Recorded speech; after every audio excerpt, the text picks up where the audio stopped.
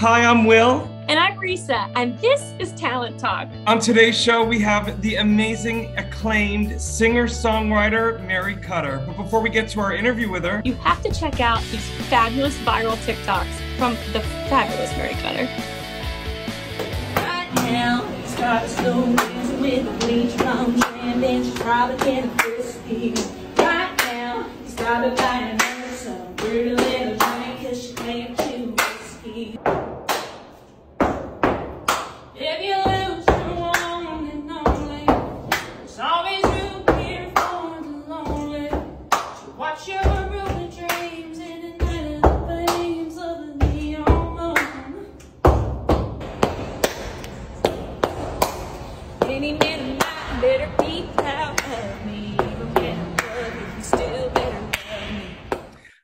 is Nunziata, and once again, I am joined by my better half, Risa Binder, for another edition of Talent Talk. And today we are joined by the acclaimed singer-songwriter, boot stomping queen, the one Woo! and only Mary Kutter. Mary, can everyone just take a look through the window at the top of her tree and just look at that star of dreams, aka a little Santa hat? We're all about the hat situations here. Mm-hmm. Mary, I love how unapologetic you are. You are fierce, you are ferocious, you are kind, you are funny, you are talented, and you're a light. And I have a lot more to say, but I'm going to give question number one to my better half, Risa Binder. Oh my gosh, uh, you are my better half too, my friend. Um, I, Mary, Mary, um, meeting you truly changed my life in Nashville. I don't know if I've even said that to you to your beautiful face, but I'm doing it now. Um, Mary, how in the world? You are the hardest working woman I think I've probably ever met. And I want to know how you stay so inspired to literally, I believe you do about three writes a day every day. And that's not an exaggeration. Um, can you tell me like do you keep a list of ideas, titles? How, how do you work? How? Well, give me some of that. Rita, you are so kind. Will, you are so kind. Thank you guys for having me on your show. I just, you guys are incredible. Uh, and Risa, since we have met, I just feel like literally you're such a blessing not to get sappy. I literally could like drink coffee or hot chocolate, depending on the day, with you for hours. Like, girl. and uh, that really means a lot to me that you know you even bring up you know working hard and stuff that you know i i guess whenever i moved to town i saw how much talent there is. There's so much talent in nashville all over the world but specifically here in town with singers and songwriters. And i mean to stay inspired i mean it's the people i get to work with. You know yes. every single writing room you walk into you never know what you're going to write. And there's two songs that are going to be coming out hopefully in the next year and um, that i'm a writer on not that i'm an artist i'm a writer on where that morning it's a rap song and it is like basically somewhere between WAP and O Town Road, like right in the sweet spot lyrically, if you know what I'm saying. Yeah. That afternoon, I went to a writing session and we wrote like the most life song ever. It's a country song. So like you just never know what you're gonna get into. And I think that just keeps the inspiration, the muse, whatever you want to call it, alive. And what I love so much about you, Mary, is that you're truly a vessel. I feel yeah. like you have built throughout your whole life this tool belt of tools that you then dependent on the assignment and the energy and the vibe you will literally take them out and sometimes maybe combine them and sometimes maybe fuse three or four. And at 30,000 feet, watching the landscape of what you've already created and what you are going to create, I'm curious to know is there a genre of music that you haven't gone, that you haven't written for as much as you'd like? Ooh, absolutely. I actually do think, I mean, in the past, I guess the last couple months, I've been riding with more and more pop acts, which is obviously, y'all, I'm from Kentucky and I mean, tiny, tiny town in Kentucky. I remember when we got McDonald's. So definitely the country roots are there, but there is something about there's no boundaries. Literally, um, there's a song with a duo that's coming out in the next year um, that is called Breadcrumbs Okay, like who would have thought breadcrumbs? And I had that title written in my phone since right before I moved to Nashville, guys. I had no idea. Isn't that crazy? Yeah, you manifested. I had no idea like what that would be. And we ended up turning it into this angsty love jam. I don't know, it's kind of crazy. but uh I think that pop, there are no bounds. And what is pop? Honestly, it's, yeah. Well, I was about to say, I feel like with and you know, just to piggyback on that, I feel like already what you've done with your career, Mary, in such a short amount of time is you have shown, not told, but shown the world that you really are a boundless talent. Mm. Thank you That's so much. That means a Hold lot. On. That's a title, boundless. Sorry, I'm putting that away that for something. Is. Keep going. Can we please write that? Just like yeah. write that. That is a great title. Keep Not going. Gonna lie. I think it's. I think it's gonna. I think it's going to be a Disney animated short musical film. Boundless, I will direct manifest you. that. Mary, you will write, and maybe Risa will be the voice. I'm just putting that out there. I'm not there yet, manifest but I am. Can I have the hat off the tree, please? Anyway, yes. Risa. Mary, you are such a light. I can't with you. Risa, you have I know Ditto. you have a question, my love.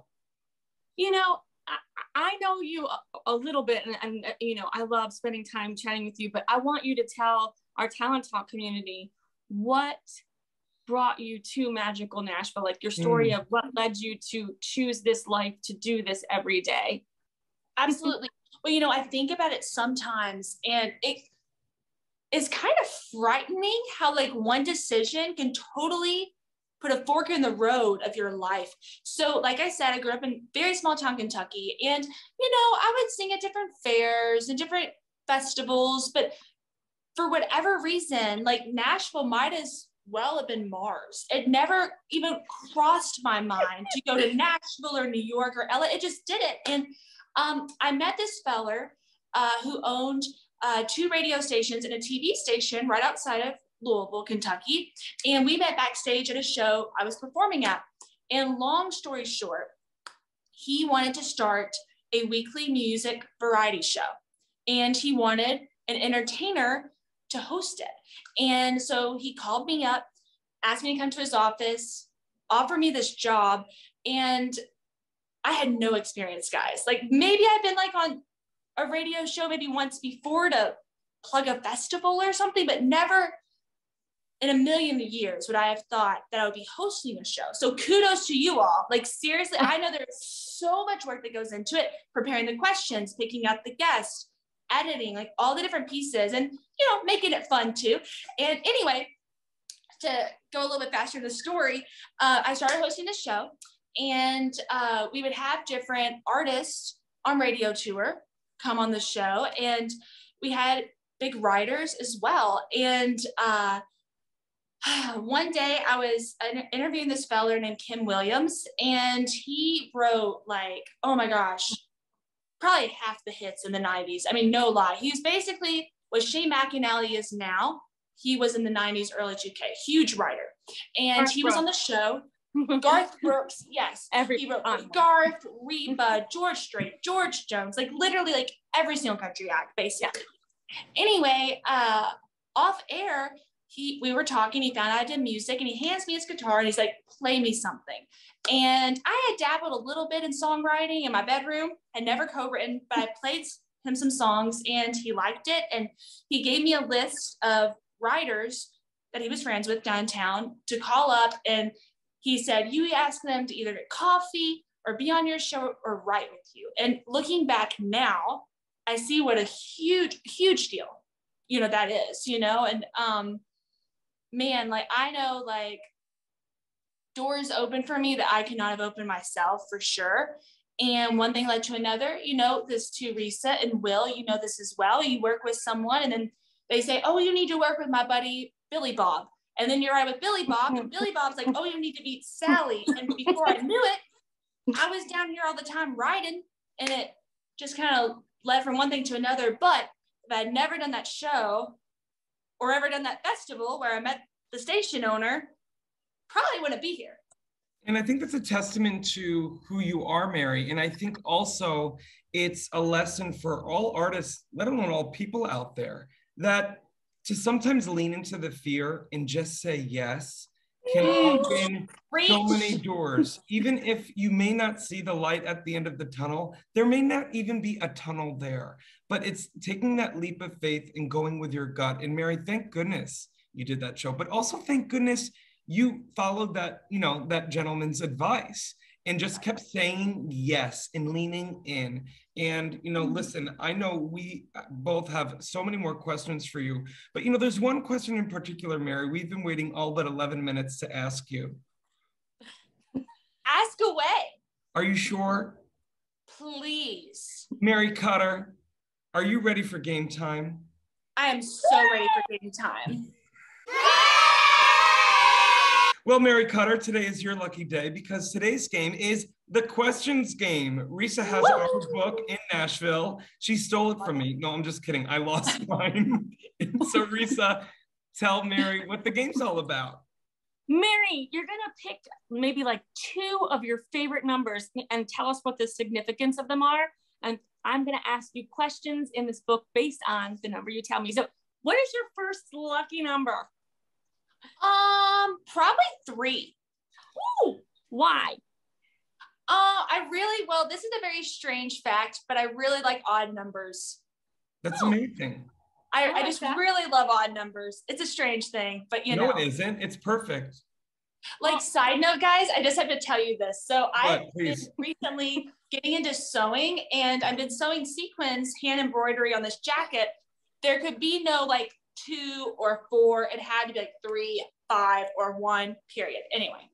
Whoa. Are you the same way with getting gasoline in the car? Like it has to land on an odd number? Like the whole I really like odd numbers, Risa. It's a very strange thing. my husband, my husband's that way with even numbers. I'm like, just fill up the car. He's like, it has to be like eight, eight, 88, eight. Oh, see, I need mine at zero at, on the gas. I need it at zero. I need it to be clean zero or I have a panic attack. But that's for I me and my that, therapist. Though. You like it clean. I need a clean zero zero.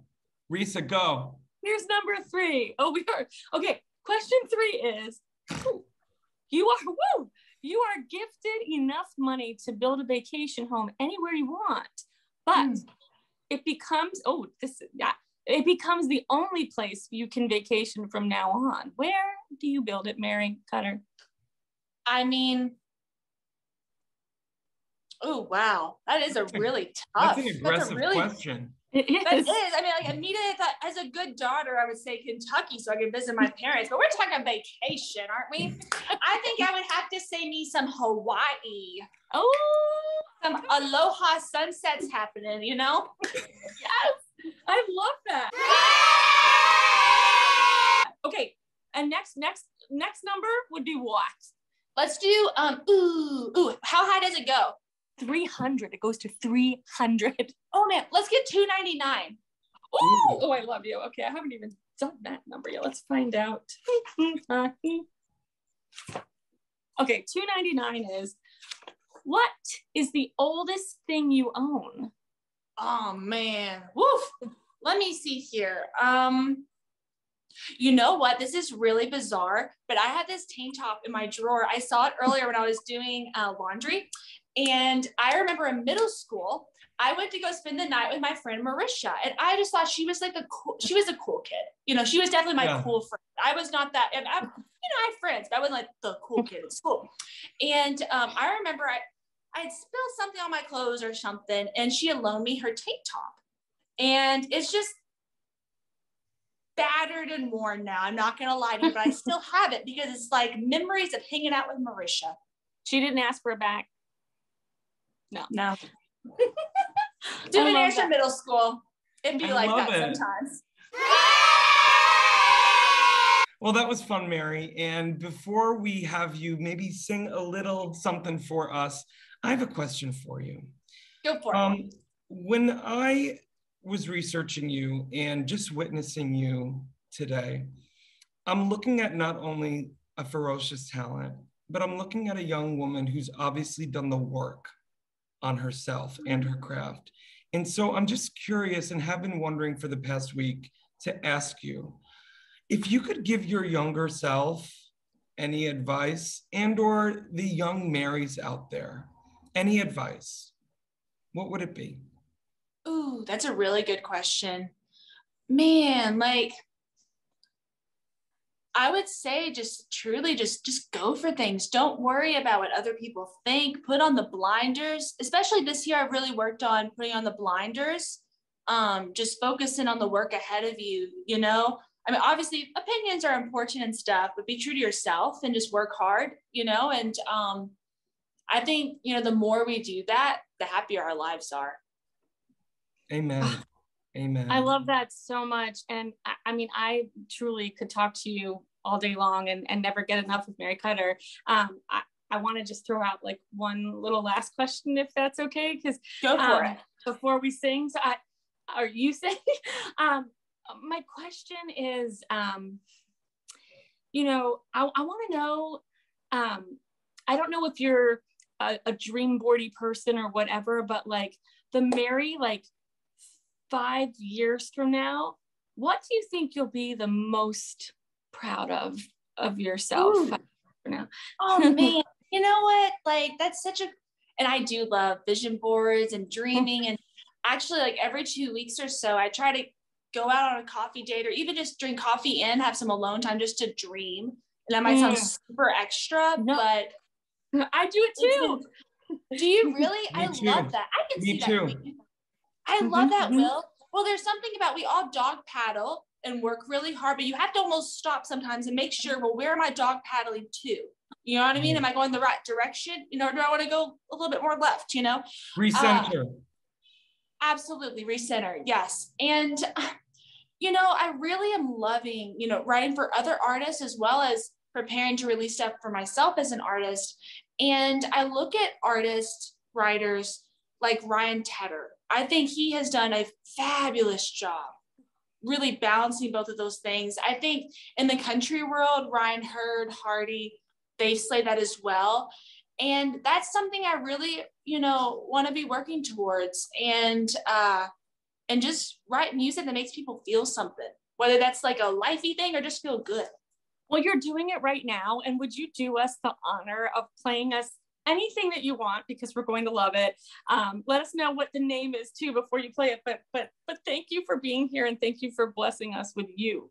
well, thank you so much, Risa. Thank you so much, Will, for having me. You guys are incredible. Dot com, like seriously. Um, I am going to play a little piece of a song that is not out in the world yet.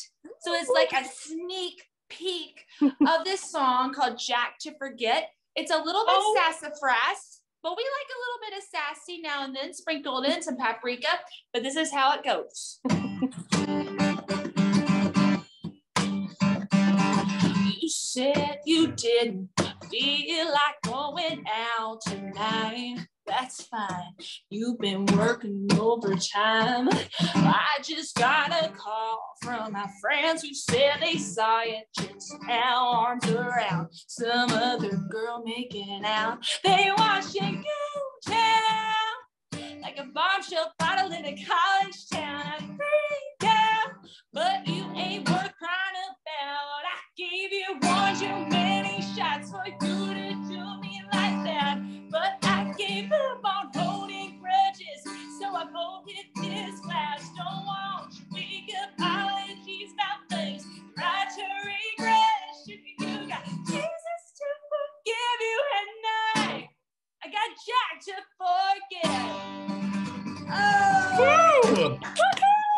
Mary Kutter, you are absolutely incredible.